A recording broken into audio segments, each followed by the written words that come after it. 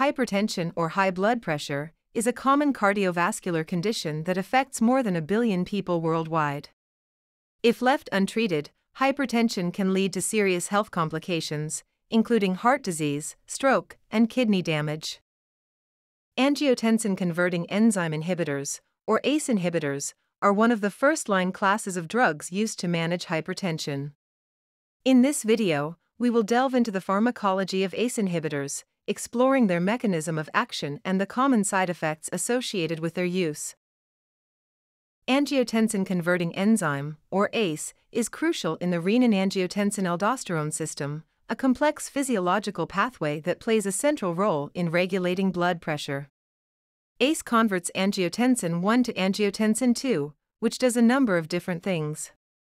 It causes blood vessel constriction within the systemic circulation.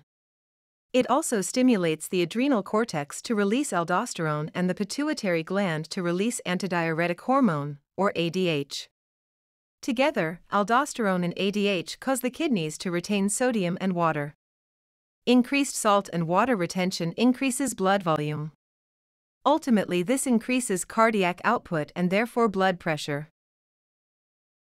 ACE inhibitors blocks the action of ACE, the enzyme that converts angiotensin 1 into angiotensin 2.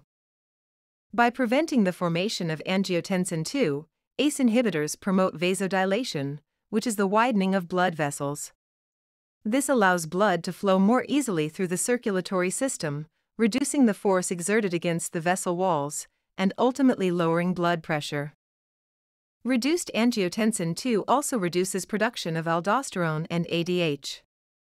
By reducing aldosterone and ADH levels, ACE inhibitors help to eliminate excess fluid from the body, further contributing to blood pressure reduction. Aside from preventing production of angiotensin II, ACE inhibitors also inhibit the degradation of bradykinin. Increased bradykinin stimulates local release of nitric oxide, a potent vasodilator. In short, ACE inhibitors causes blood vessels to dilate.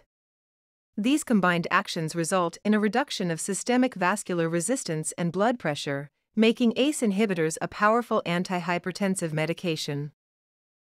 While ACE inhibitors are highly effective in managing hypertension, they may be associated with some common side effects.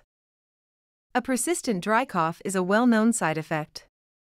This occurs in a minority of patients but can be bothersome and lead to discontinuation of the medication. ACE inhibitors can lead to increased levels of potassium in the blood, or hyperkalemia. This can be particularly problematic for individuals with kidney dysfunction or those taking potassium sparing diuretics. Some patients may experience a drop in blood pressure upon initiating ACE inhibitor therapy, leading to dizziness or fainting, especially when rising from a seated or lying position. ACE inhibitors can increase blood urea nitrogen and serum creatinine. But it is usually reversible upon discontinuation of the medication.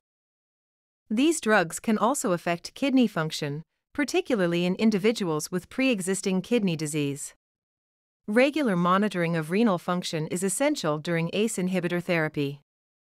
Although rare, angioedema is a severe side effect that involves sudden swelling of the deeper layers of the skin, often around the eyes and lips.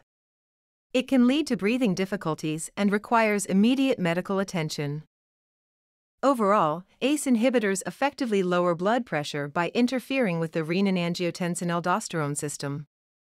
However, it is important for healthcare providers and patients to be aware of the potential side effects associated with ACE inhibitors. Regular monitoring and open communication between patients and healthcare professionals are key to optimizing the benefits of ACE inhibitors while minimizing their risks. Always consult with a healthcare provider before starting or discontinuing any medication. And that's it for today's pharmacology video. If you enjoyed this video, please give it a thumbs up and subscribe to the channel for more pharmacology content.